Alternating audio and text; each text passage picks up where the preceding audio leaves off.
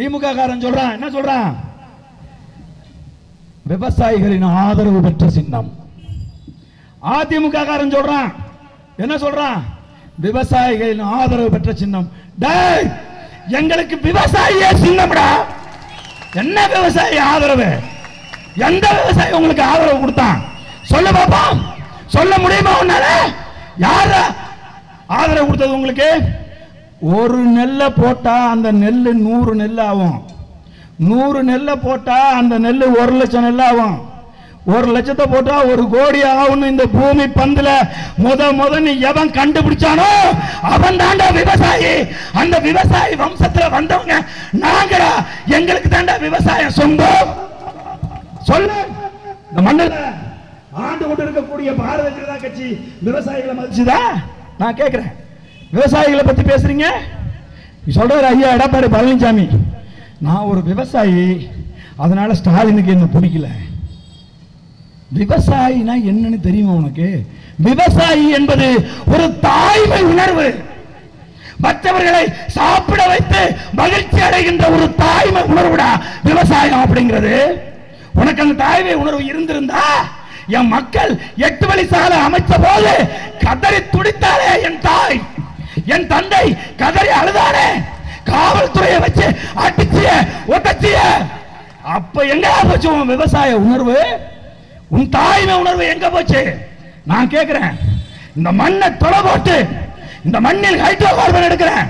இந்த மண்ணில் நான் மீத்தேன் எடுக்கிறேன் சொல்லி இந்த மண்ணின் வளத்தை விவசாயத்தை அழிச்சு ஒழிச்சிங்களே. அப்ப எங்கடா போச்சு உன் விவசாய உணர்வு? நான் கேட்கிறேன் இப்ப மட்டும் புட்டுக்கிட்டு வருது. நான் கிராமத்தான். நான் விவசாயி அதனால் ஸ்டாலினுக்கும் உனக்கும் என்ன பிரச்சனையோ அதை பேசிக்க. இந்த மண்ணில் நான் கேட்குறேன் எதுக்குடா கூட்டணி உங்களுக்கு? திமுக காரணம் அதிமுக காரணம். இந்த கட்சிகளை சார்ந்து இருக்கக்கூடிய இந்த கட்சிகளுக்கு தான் நாங்கள் வாக்களிப்போம் என்று மன ரீதியாக மனது முழுதும் நிறைஞ்சு இங்கே நின்று கொண்டு இருக்கக்கூடிய என் தாய் தமிழ் உறவுகளை சிந்திச்சு பாருங்க. இந்த மண்ணை கடந்த 50 ஆண்டு காலமா அதிமுகவும் திமுகவும் தான் மாறி மாறி ஆட்சி பண்ணிருக்கான் இங்க இருக்கக்கூடிய மக்களுக்கு நல்லது செஞ்சிருந்தா? ஏன்டா கூட்டணி? எதுக்கு பயப்படுற? தனியால நின்று இருக்கணும். ஐயா ஸ்டாலின் அவர்கள் உங்களை பார்த்து நாங்க கேட்கிறோம் பேரறிஞர் அண்ணா உங்களுக்கு கொள்கை வகுத்து கொடுக்கலையா? உங்க ஐயா கலைஞர் கருணாநிதி உங்களுக்கு கொள்கை வகுத்து கொடுக்கலையா?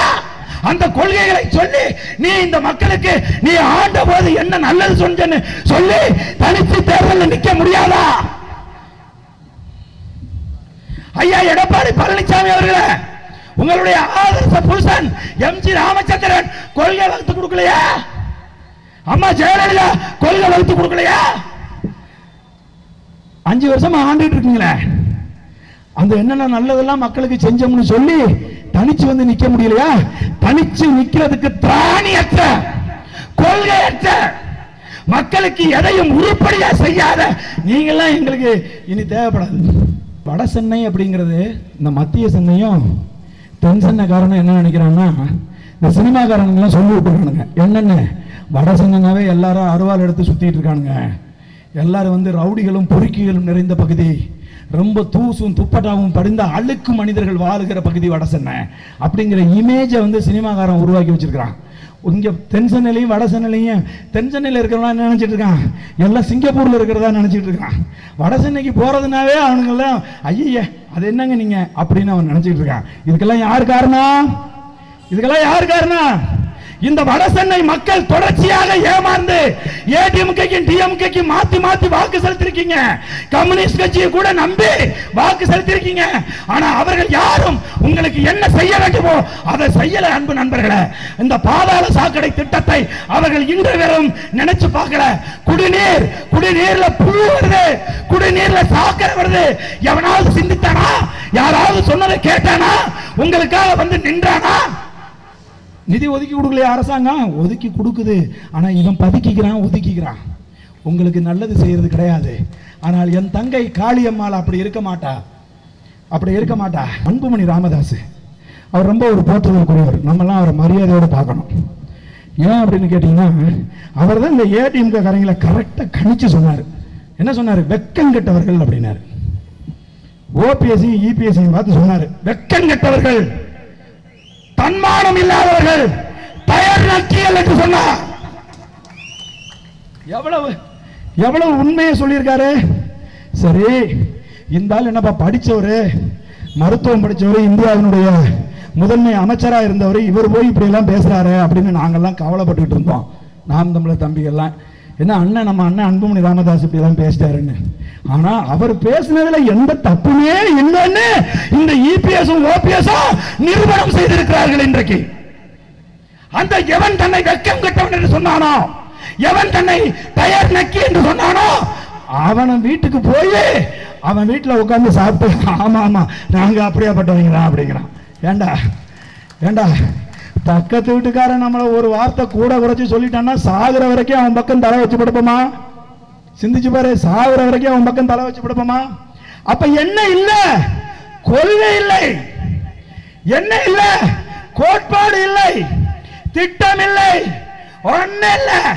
கூட்டா சேர்ந்துட்டோம்னா ஜெயிச்சிடலாம் கொள்ளையடிச்சிடலாம்னு நினைக்கிறானுங்க. இதுல கொள்கையே இல்லாதது நம்ம ஐயா ராமதாஸ் ஐயாவும் அவர் பையன். அன்புமணி ராமதாஸ் அவர்கள் தான். முத நாள் வரைக்கும் பேசின பேச்ச அப்படியே ஒரு பெரிய சாக்கு போய் எடுத்து கட்டி தூக்கி பரல்ல வீசிட்டு அப்புறமா வேணும்னா எடுத்துக்கோ இல்லைன்னா அப்படியே விட்டுறலாம் அப்படின்ட்டு புதுசா ஃப்ரெஷ்ஷா காலைல எழுந்து ட்ரெஸ் பண்ணிட்டு வந்து வாங்க வாங்க நீங்க தான் உத்தமர்கள் அப்படிங்கிறாங்க. சிந்திச்சு பாருங்க.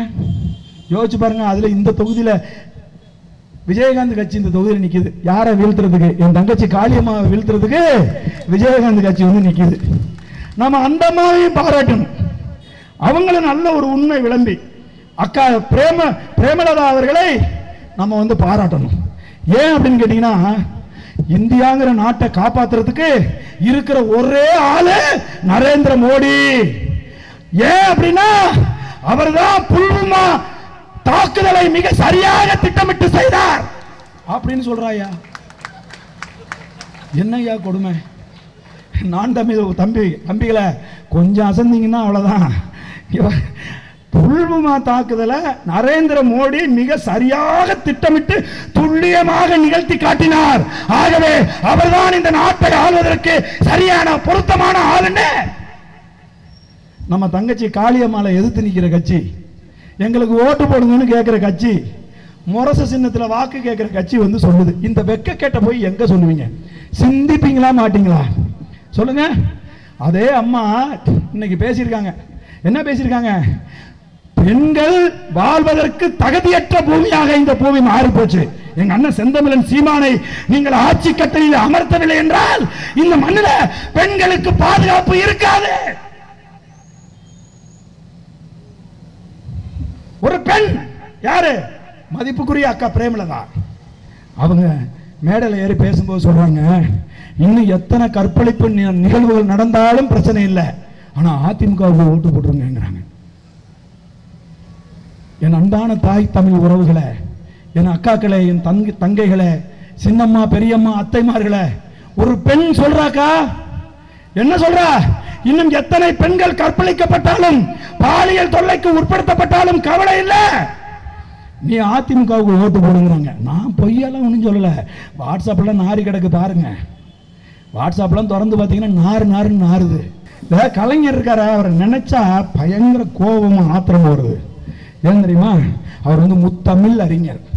தமிழ்ல நிறைய படைப்புகளை செஞ்சவர். அவர் பையனை அரசியலுக்கு கொண்டு வராரு.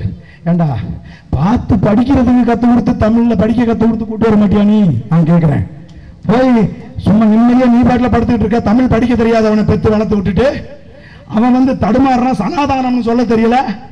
பேப்பரை பார்த்து பார்த்து படிக்கிறான். தப்பு தப்பா படிச்சுக்கிட்டு இருக்கான். முத்தமிழ் அறிஞனுடைய பிள்ளை ஒரு தமிழ் அறிஞனாக இருக்க வேண்டாமா?